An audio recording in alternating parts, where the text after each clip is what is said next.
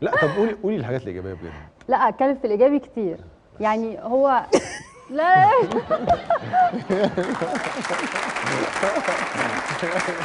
أنا كنت عايز الكلمة دي بس خلاص. مش لازم تقولي حاجة بقى خلاص. خلاص؟ لا لا. لا هو هو آه غيور وكده بس أكيد في مميزات يعني غيور لدرجه. إيه؟ آه، هو أحمد قل جدا يعني إحنا دلوقتي كويسين قوي إحنا في مرحلة جدا جدا يعني أكيد مع الزمن يعني ده كله المفروض إن هو يبقى فاهم بيتعامل مع مين. بس لغاية دلوقتي برضو ليه حركات اللي هو أميرة هقول لك على حاجة وهو من الأول زمان ما كانش فاهم هو بيتعامل مع مين. هو أنت لو كنت آه. كده ولا كده كان أصلا بس أنا كنت طفلة. آه، آه، هو من أول لحظة عارف إن أنت كده. بس آه، هو كده.